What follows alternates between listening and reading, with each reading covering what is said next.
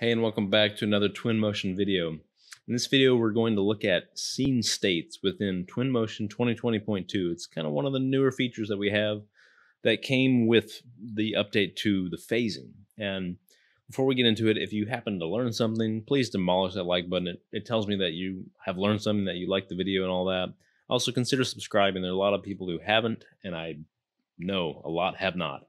So let's get into it now. We're going to look at scene states within Twinmotion.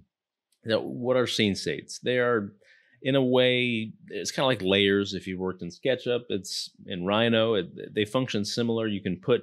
It's all kind of all about visibility. What do I want to have on what particular layer or what particular scene state, so I can either change what I'm showing at particular times throughout a video or throughout phasing or whatever it might be. And where do we find that? Because it's not actually something that's seen on the screen or really we don't have access to it necessarily out of the box as we don't really see it. Where is it? So over here at the bottom, you can see we by default we see statistics. And if I click this button, I can raise up the st statistics and I can see all the statistics I have for this particular model. But under this dropdown, I have BIM information, transform information if you want to get really precise on transforming an object. And then finally, we've got scene states here at the top. And if I click scene states, I can see I've got a few here. I've got a couple that came in with my imported models that I'm going to just ignore. They don't really have anything to do with what I'm trying to show here, but I've got I've made a couple already.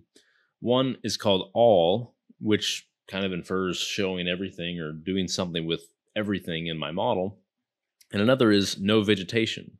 So these are, at least the way I've set it up, all is showing everything, and no vegetation is, you know, turning the vegetation off. That's simple enough. And we can start to do some things with this these scene states to not only organize what we see, but also organize videos and phasing. I'm going to make a couple more scene states so we could see how this starts to work. So if I just click on all, you know, nothing changes because I already see everything.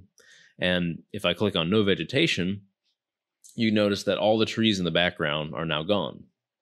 And we could see that directly up here at the top where I have vegetation, a folder for all my vegetation, trees, painted vegetation, everything. It's just turned off. And so that's all these scene states are doing. They're controlling the visibility of all the objects you have in your scene up above here. And it, you know, it makes sense.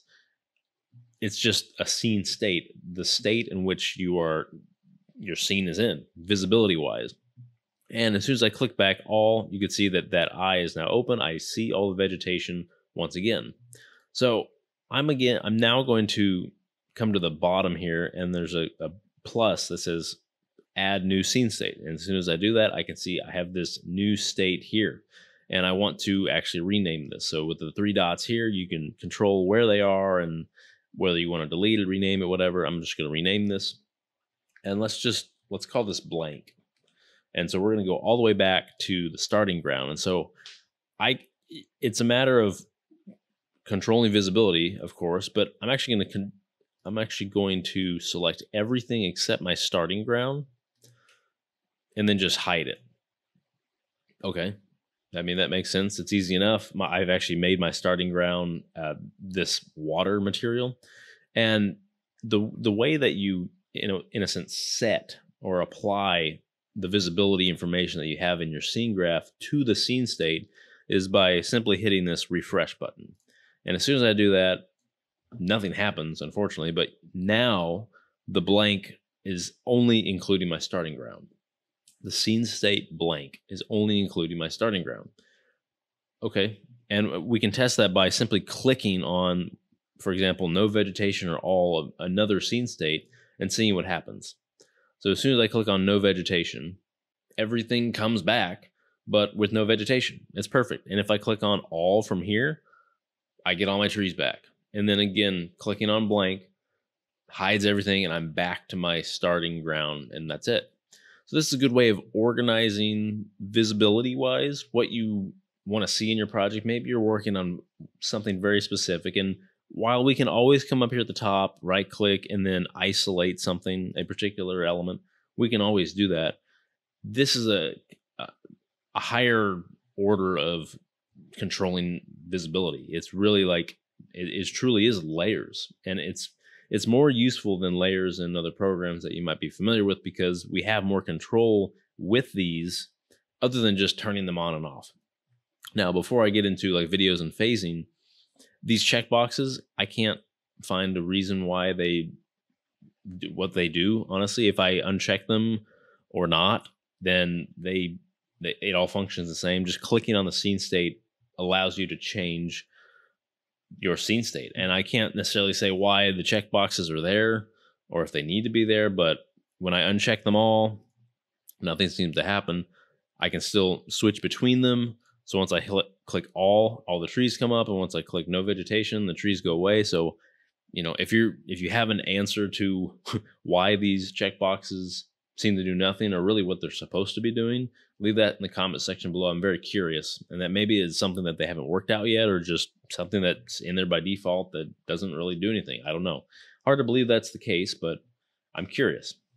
So we have these these different scene states, and maybe we what we want to do now is uh, go into a video or a phasing and work with these scene states throughout that process. So let's go to a video that'll probably be more impactful.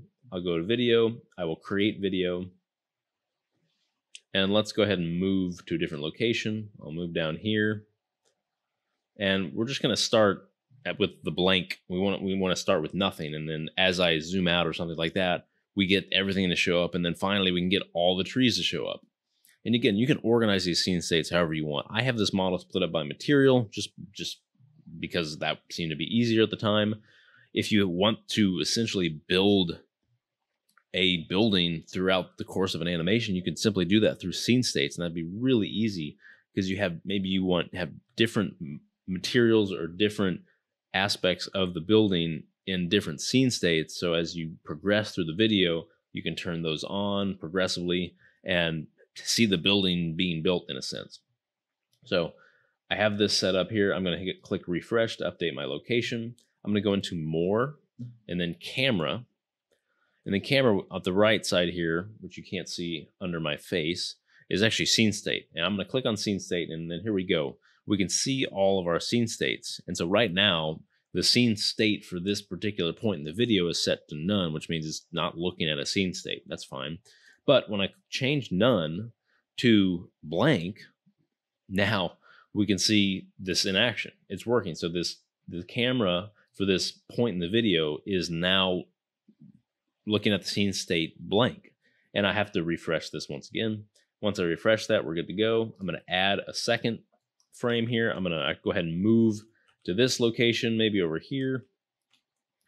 And then I'll update that location. But now again, I want to click more camera scene state and then change this scene state to, let's say, no vegetation.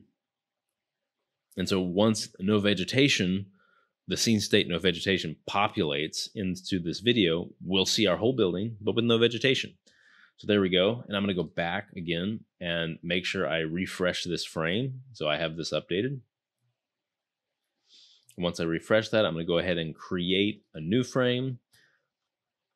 I'm going to move over to this location so we can get an idea of some of the trees that are showing up.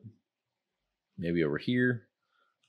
That works. I'll go ahead and up, update this so we can see the location for the camera update there.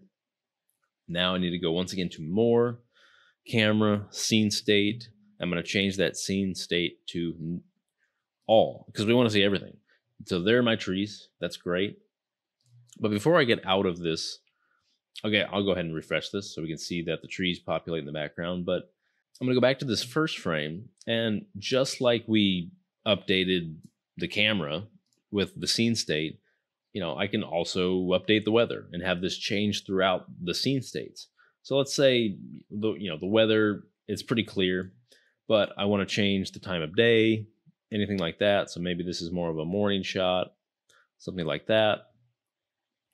I can go back and then refresh this again, and then I can come back to my final frame. And maybe I want my final frame to go throughout the day. I can go ahead and change that time of day to later in the day as opposed to early. So we can come back here to more Maybe we want to make this a little more cloudy weather. We can put add a little clouds to the scene there. Not quite to the point where we have rain or water, but then we do want to change the time of day with the location. And maybe this is a bit later into the day or it's almost dusk. That looks good. Again, we need to update this frame. And then now we can play this from the starting point and see what we get. So we can see the time of day changes. We're going towards that midday here in the center.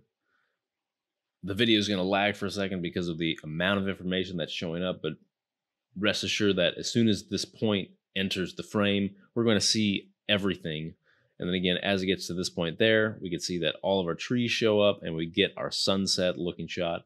So that's a great way to use scene states within, you know, just an organization purpose throughout modeling within Twinmotion, but also within creating a video and adding different keyframes that have to do with each state. And so, in a sense, you're either building the building, you're changing the weather, anything like that can apply as well. And then finally, let's look at phasing. Phasing changed within Twinmotion 2020.2 in a sense that now we can start to integrate some of these scene states and, and it also made phasing just a lot easier. And I'm going to save that for a future video. But I'll go ahead and create a phase here.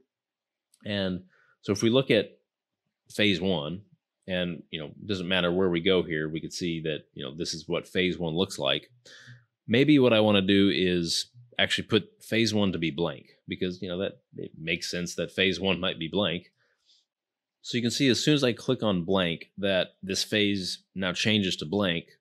But once I start to drag the date and change the date, you'll also notice that again, I'm back to seeing you know, like no vegetation scene state as opposed to the blank, which I have set to phase one. And that's because whenever I created this first phase, it was based on the state I was currently in, which happened to be not the blank scene state that I wanted. So I can just come in here and delete this.